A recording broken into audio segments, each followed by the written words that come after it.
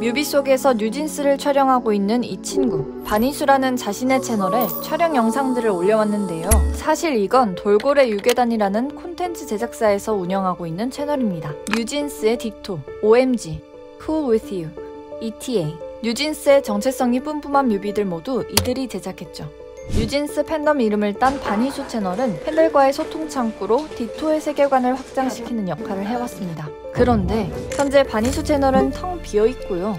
돌고래 유괴단 유튜브 채널에 공개됐던 ETA 뮤비 감독판 역시 삭제됐습니다. 어떻게 된 일일까요? 지난 2일 돌고래 유괴단의 신우석 감독은 자신의 SNS에 이런 글을 올렸습니다. 경영진이 바뀐 어도어의 정책에 변화가 있는 것 같다며 뉴진스 소속사인 어도어 측에서 뮤비 삭제를 요구했다고 밝혔습니다. 앞으로의 협업은 불가능할 것 같다며 아쉬움을 토로하기도 했죠. 지난달 뉴진스 엄마로 불리던 민희진 전 대표가 어도어 대표이사에서 해임되면서 인사관리 전문가인 김주영 대표이사가 선임됐는데요. 경영진이 바뀌면서 협업 관계에도 영향을 미쳤다는 겁니다. 뉴진스의 어쨌든 정체성과 이제 뭐 심지어 거의 컨셉이나 스타일 자체를 만들었던 민희진 대표잖아요. 그면에서 이번에 뉴진스의 뮤직비디오 삭제 같은 경우 부정적인 시그널로서 이제 우려를 증명해주는 사례가 될 듯 싶습니다. 신 감독의 글이 올라온 지 약 2시간 만에 어도어 측은 강력 반발했습니다. 광고주와 협의 없는 ETA의 감독판 뮤비만 내려달라고 요청한 것일 뿐 반희수 채널을 포함한 모든 뉴진스 관련 영상을 얘기한 건 아니라는 겁니다. ETA 감독판의 뮤비는 어떤 차이가 있었을까요? 기존 영상에서는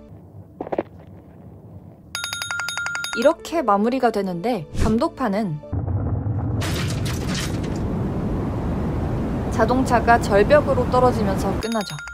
뭐라는 겁니까 대체? 신 감독도 반박에 나섰습니다. 제작을 위해 모인 3사, 어도어, 돌고래 유괴단 그리고 광고주인 애플이 애초 감독판을 공개하기로 합의했었다고 주장했고요. 영상을 삭제하지 않으면 내용 증명과 함께 위약금을 청구하겠다는 협박을 받았다고 폭로했습니다. 그러니까 뉴진스 데뷔 때부터 뮤직비디오들을 계속 같이 성공적으로 release를 했던 감독이기 때문에 민 전 대표하고의 신뢰 관계가 굉장히 두텁다. 하이브하고의 1차전에서 민 전 대표 측에 유리한 탄원서도 제출을 해줬었거든요. 그런 부분들을 좀 종합적으로 볼 때 아마 어도어 측에서는 뭐 눈엣가시가 아니었겠는가. 지금 새로운 경영진이 투입이 돼서 그 전에 어도어와 신감독의 관계와는 좀 다른 포지션을 좀 취하고 있는 건 분명하다. 이런 기류를 반영하듯 뉴진스 멤버들도 불안감을 나타냈는데요. 민지는 언제까지 불안한 날들이 이어질지 모르겠다고 했고 다니엘은 여러모로 힘들고 고민이 많아졌다며 복잡한 마음을 표현했습니다. 한이는 슬픈 마음을 토로하는 자작곡을 공개하기도 했죠. ます。 팬들의 걱정과 우려도 커지고 있는 상황인데요. 뿔난 팬들은 미니진 전 어도어 대표의 임기를 보장하라며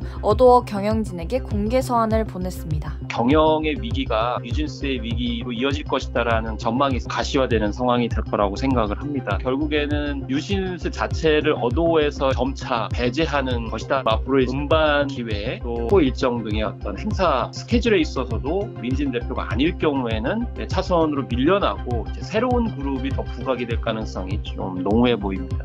어도어와 돌고래 유괴단이 몇 시간 텀으로 공방을 벌였지만 입장문과 폭로 등으로 갈등만 부각된 상황인데요. 최근 민희진 전 대표 측은 최악의 경우까지 고려해 대응 전략을 마련하는 중이라고 밝혔습니다. 최악의 수까지를 보고 준비를 하고 있는 것 같아요. 뉴진스를 데리고 아예 하이브를 떠나는 어도어를 떠나는 그런 문제들까지도 염두에 두고 다양한 방법들을 모색하고 있다. 이런 분위기가 감지가 됐습니다.